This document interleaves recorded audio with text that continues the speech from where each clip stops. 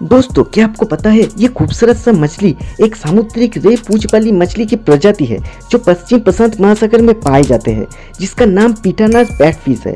इसके अलावा ये सबसे ज़्यादा ऑस्ट्रेलिया में पाए जाते हैं।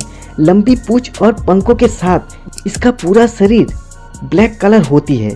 साथ ही ऑरेंज कलर की बॉर्डर होने की वजह से गजब का सुंदर देखने को मिलता है।